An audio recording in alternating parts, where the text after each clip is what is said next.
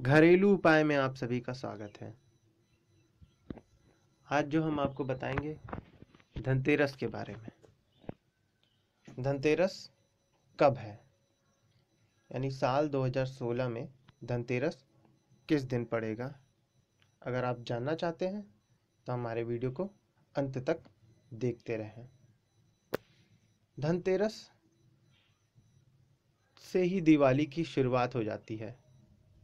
धनतेरस दिवाली से दो दिन पहले पड़ता है, तथा इस दिन धन के देवता, धनवंतरी तथा कुबेर की पूजा की जाती है।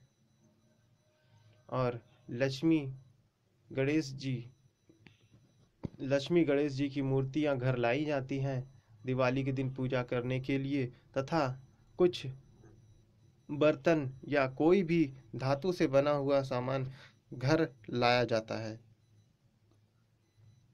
इस साल, यानी 2016 में 28 तारीख 28 अक्टूबर को